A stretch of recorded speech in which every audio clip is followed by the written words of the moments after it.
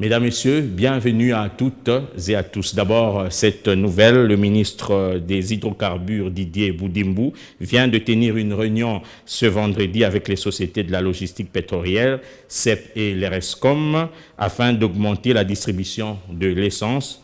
Plus de plans de contingentement, la distribution redevient à la normale avec 1300 mètres cubes par jour.